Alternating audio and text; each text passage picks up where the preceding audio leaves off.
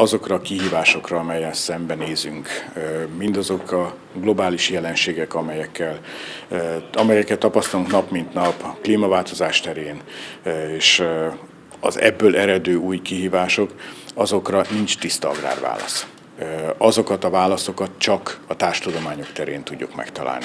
És a Debrecen Egyetemnek az a legnagyobb lehetősége, hogy mivel valódi univerzitásként működik, integrálva egyik tudományág a másik területben, hogy közösen meg tudják találni azokat a lehetőségeket, amelyek szükségesek ahhoz, hogy biztosan tekintsünk a jövőben. Az a precíziós gazdaság, amire szükségünk van, a digitalizáció, az automatizáció kérdések, mind-mind igazából műszaki informatikai tudomány tudományok, és mégis az agrárterületen használjuk.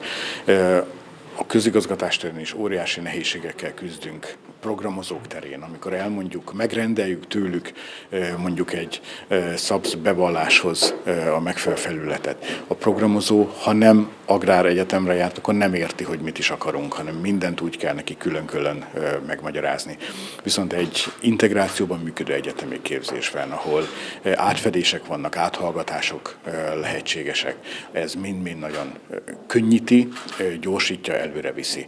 És új ötletekkel inspirálja a dolgot, hiszen legyünk őszinték, valahol teljesen kötetlen formában beszélgetnek fiatalok egymással, fölvetődik egy probléma. Arra egészen más választ ad egy agrármérnöknek készülő fiatal, egy informatikus, egy jogász, eh, vagy éppen egy matematikus, vagy egy fizikus. Mindenki a saját szemüvegén keresztül látja azt a problémát. A Debrecen Egyetem nagy előnye az az, hogy itt egyszerre van jelen minden is, ez a sokszínűségből, ebből a sok kicsi kis szeletből tevődik össze egy teljesen más megoldás, mint amely mondjuk egy másik tudományterület önálló tiszta ága szülhetne. Én azt remélem, hogy eh, az, az a szerep, amit a Debrecen Egyetem visz eh, itt az Alföld közepén, meghatározó eh, mind a jelen, mind a jövő szempontjából is.